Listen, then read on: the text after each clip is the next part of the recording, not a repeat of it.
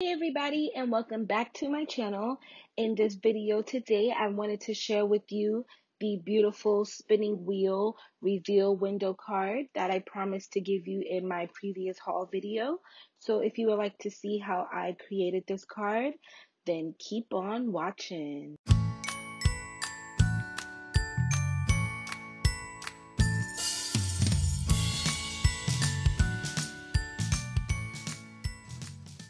The first thing I'm going to be doing in this video is preparing my background. Um, so I have a piece of Bristol Smooth cardstock that I am distressing. So I started distressing with the color um, Blueprint Sketch. And then I'm going to be fading in some of the hickory smoke at the bottom of the background. And then for the top of the background, I am going to be using some chipped sapphire. So I wanted my sky to look a little choppy and a little storm cloudy. So I didn't take much care to blend this out entirely. I wanted some of the white peeking through because we are going to be using a cloud to cut out the window, the reveal window for our spinning card. So I'm just kind of messily blending these blues together along with that hickory smoke. And then I'm going to be taking a rectangle card front stitched die and cutting that out in my Cuttlebug to give me a A2 sized card. So I'm going to put that to the side and I'm going to start cutting out these circles, which will be the mechanism that spins the wheel on my card. So that first circle is going to be about, um, it's the second to last circle in my circle framelit set. And then the small circle is about two inches wide. The small circle can be any size as long as it is smaller than your bigger circle. So the circles are open to interpretation in size. And then just for some fixings on the front of the card, I'm going to be using a cloud die. I'm actually going to cut out two of those cloud dies. And here you see me um, distressing with the hickory smoke the edges of those clouds just to kind of make them look a little more gray and just a little more stormy because I wanted this card to be almost like a stormy night scene. So I'm distressing the edges of those clouds. I did both of them. And then here you see me positioning my cloud die that I'm going to be using to create the reveal wheel. And I found the position that I liked it in. And I went ahead and ran that through the Cuttlebug. Next, I'm going to work on my mechanism for the spinning wheel. And I'm taking an awl or any sort of pointy tool that you have. And I'm going to be eyeballing a hole right in the center. And in that hole, I placed a really small brad.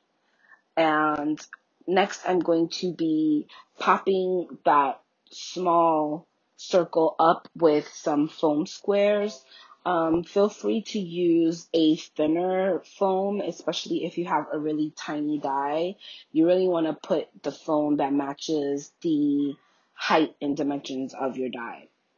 So I am going to be taking some low tack tape and taping down my big circle in the position that I want it in because I'm going to now remove the backing off of my foam squares and I'm going to be lining up my card front with my card base, which are both the same size. And I'm going to press down on that foam and remove the big circle from the card base. And then next I'm going to open up the wings on my brad and we're going to remove that big circle so that we can decorate it and stamp it. So to decorate my big circle, I'm going to be using a little bit of hickory smoke and I'm messily blending that around my big circle, not taking too much care to make it very neat and blended because we want to keep some of the white area and just make it look a little more stormy and cloudy. So I'm starting with the hickory smoke and then I go in with the chipped sapphire so that um, I can blend it in a little bit more with the background. So I just take that chipped sapphire and concentrate it more on the edges.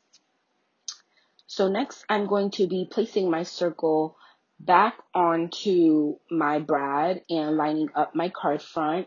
And I do this so that I can trace out the cloud shape four times onto my circle, spinning my wheel a quarter each time I trace the cloud, just so that I know the positioning of my stamped words are going to be in the right place. So here I'm showing you the stamp set that we're going to be using and it's really cool um, superhero stamp set that I got from AliExpress. And the words we're going to be using are cute, cool, fun, and then I took your super um, sentiment and I cut it in half. So we're also going to use the your and the super, but in two different areas. And you'll see what I mean in a second. Here I'm just stamping out each of those words right in the center of those clouds that I lightly traced out. And I go ahead and stamp each one.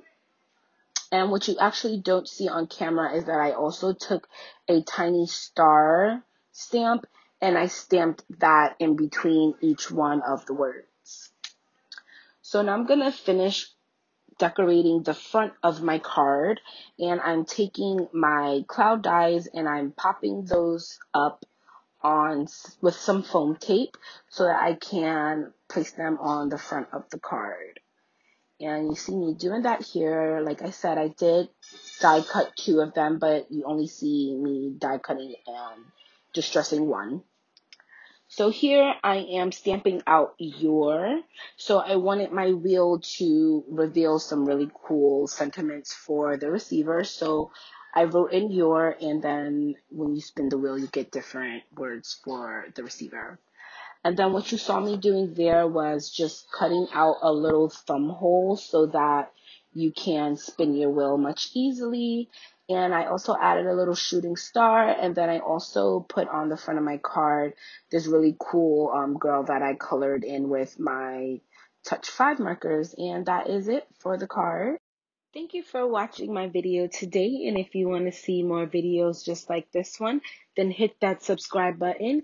Don't forget to like, share, and comment down below. And until the next time, bye bye.